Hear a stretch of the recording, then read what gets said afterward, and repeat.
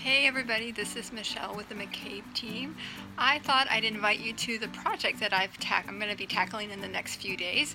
We have this great rooftop deck. We just got new roofing and new painting done on it, but it feels like it just needs a little something more. So I've uh, created a great little inexpensive design project um, for this great outdoor space hoping that maybe you can get some inspiration for a little bit of money to make your backyard space perfect.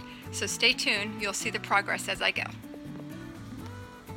Okay, I wanted to give you a better view of kind of the space that we're looking at. It's pretty high up on the second story. So we look over all of the house houses. Um, the rooftop itself is about 24 feet by uh, 15 or 16 feet. We are going to be putting a railing there on the ledge so we can watch the football games at night on Friday nights when football season comes up. Um, so we're going to be using this awesome decking product that's um, made of a PVC material. It's nice and lightweight so there won't be a lot of weight on the top of the roof. And uh, I'm going to do a really neat dark and light gray pattern and I'm excited to show you my progress. Okay everybody, so I now have the center of the decking, it's a floating deck um, down.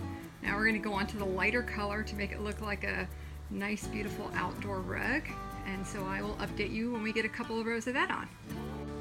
Alright, here we are making progress.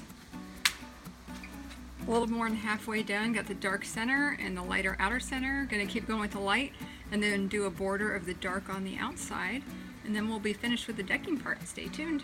Alright everybody, it's day two of my project and I thought I'd let you see what the progress is. We've got all of the decking down. It is a massive deck, about 21 by 11. I've also done a pebble border of river rock. And that's been all done. And now, all we have left is to hose it down and put some patio furniture out here and open a bottle of wine. Okay everyone, and we have our finished product. As you can see, I surrounded the deck with pebble and did a few decorations.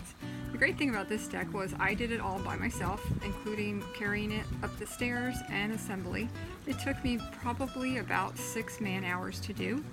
Um, and I didn't need to wait for anybody to help me. Uh, cost for laying the deck is about $2.20 per square foot. Uh, this was a rather large deck at uh, about 21 by 11, um, but you could definitely do a small patio or balcony for really reasonable. Um, so I would suggest maybe that you spruce up your outside and enjoy the best Oregon summer you can.